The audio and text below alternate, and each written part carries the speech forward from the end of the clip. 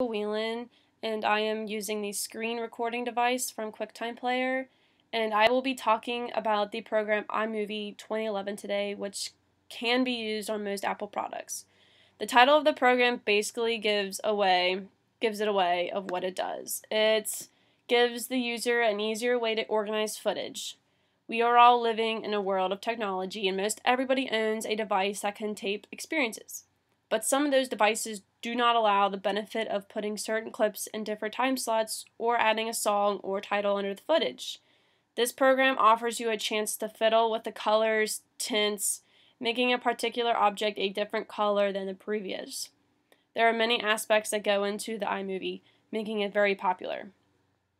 You can a very cool thing you can do is you can cut clips and arrange them into different areas any way you want to make it work for you. Controlling the audio is very essential to a video, and iMovie allows you to drop access background noise so the viewer can focus on what you want them to view. To spice it up, you can include effects, which could be a new voice recording, photos, or even music. iMovie is fairly inexpensive, it's only $79 from the Apple Store. It is already incorporated into the MacBook Pro, which is very cool and convenient recently I've taken an interest in filming little videos for fun and I'm very new to this program but it really allows me to organize all the clips I have very easily and it gives my creative juices a kick.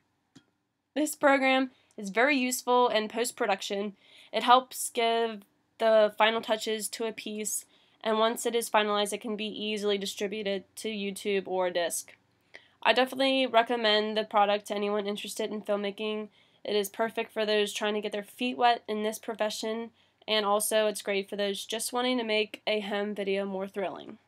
And I want to go ahead and show some footage I took today and show how you can manipulate different um, scenes. You can totally take one scene here, put it up, replace it with a different scene, and then you can also, that's a really bad clip, um, I want to get, let's see, we'll use this guy right here.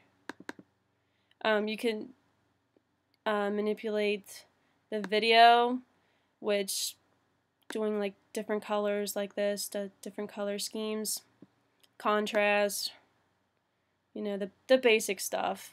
And then you can also, with the audio, um, you can bring it up to 100%, bring it down, you can, right here, was, as I said before, reduce the background noise. Um, and then here, if you just press the spacebar right here, it allows you to view the footage coming here. You can start it and then stop it by pressing the spacebar. Press it, stop, come here again, double click it, space, and stop. Fairly, fairly simple, easy way to have all your footage on one area and to create a movie. Thanks, guys. That's all.